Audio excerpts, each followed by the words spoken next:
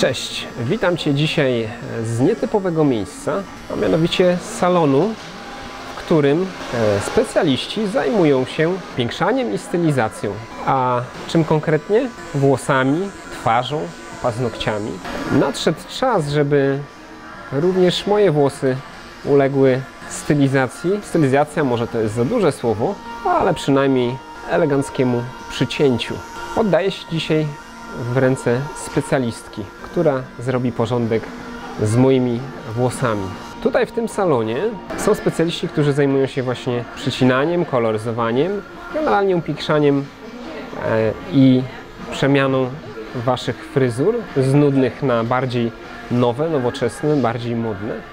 Są tutaj specjaliści, którzy zajmują się makijażem, zajmują się stylizacją waszych twarzy, waszej buzi i sprawiają, że z szarych myszek stajecie się pięknymi e, księżniczkami.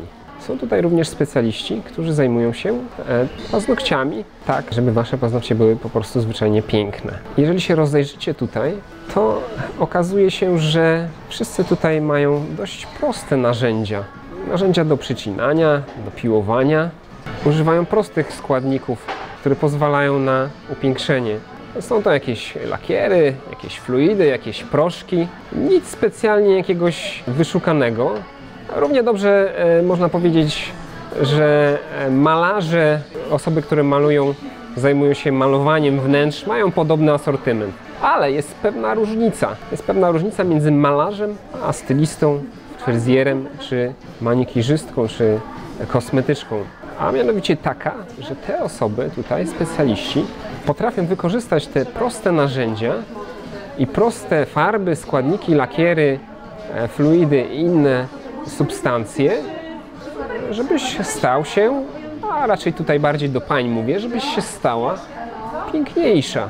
Tak więc e, za prostymi narzędziami i prostymi substancjami kryje się wiedza, potężna wiedza, potężne doświadczenie, które powoduje, że te proste składniki, proste narzędzia po użyciu sprawiają, że stajesz się e, królewną albo księciem powiedzmy. Tak więc kolejny raz to przysłowie e, mniej sprzętu, więcej talentu potwierdza się. Potwierdza się również tutaj, czyli wiedza plus doświadczenie.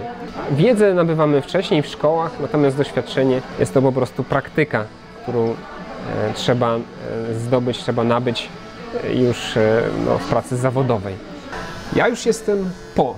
Moja stylistka spisała się na medal. Wyglądam lepiej i czuję się lepiej. Natomiast jak u Ciebie wygląda stylizacja?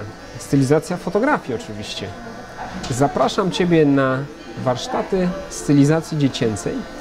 I mimo, że temat e, brzmi dość banalnie, to jednak e, zapraszam osoby, które są zainteresowane bardziej zarabianiem na fotografii, kiedy tę stylizację będą chciały wykorzystać do e, celów komercyjnych. Osoby, które zarabiają na stokach, w bankach zdjęć, można powiedzieć. Osoby, które fotografują dzieci komercyjnie, fotografują w studio i oczywiście blogerów, którzy, e, czy blogerki, e, które fotografują e, swoje dzieci, no i ogólnie osoby, które chciałby robić lepsze zdjęcia. Więc zapraszam Cię serdecznie. Gdańsk, Warszawa, Kraków, Wrocław i Poznań. Zapraszam Cię do tych miast. Już niebawem, już niebawem się rozpoczną. No i spójrz na mnie wyglądam lepiej, powtórzę to jeszcze raz, wyglądam lepiej i czuję się lepiej. Zrób to samo ze swoimi zdjęciami. Zapraszam, Szymon Zduńczyk, cześć.